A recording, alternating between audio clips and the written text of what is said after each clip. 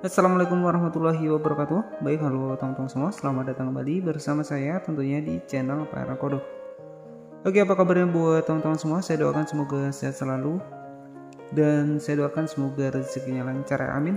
Oke jadi pada kesempatan kali ini kita akan bahas Bagaimana cara ubah mode gelap untuk di akun Twitter ya.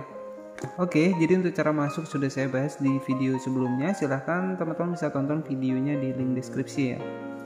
Oke, jadi untuk mengubah mode gelap untuk di Twitter, di sini kita langsung saja masuk ke dalam aplikasinya. Dan selanjutnya kita akan masuk ke dalam aplikasi dari tampilan dari Twitternya. Kemudian kita klik saja di bagian profil di sebelah kiri atas. Ya, di sini kita klik saja bagian profilnya di sebelah kiri atas. Kemudian di sini teman-teman bisa masuk saja ke bagian pengaturan dan privasi. Kita klik di bagian pengaturan dan privasi, kemudian di sini pilih di bagian menu aksibilitas, tampilan dan bahasa. Di sini tinggal kita klik saja seperti ini. Kemudian untuk cara mengubah tampilan uh, mode gelap untuk di Twitter ini silahkan klik saya di bagian tampilan.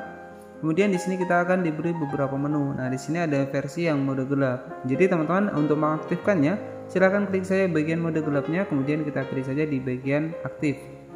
Oke dan otomatis untuk Twitternya sudah menjadi versi mode gelap. Jadi manfaat kita menggunakan mode gelap di aplikasi Twitter ini otomatis akan menghemat daya baterai HP kita.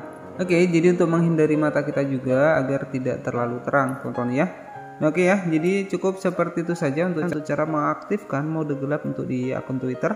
Nah, semoga bermanfaat. Jangan lupa buat klik tombol subscribe dan aktifkan lonceng notifikasinya agar teman-teman mendapatkan pemberitahuan terbaru dari channel ini. Oke, selamat malam, selamat beristirahat, dan wassalamualaikum warahmatullahi wabarakatuh.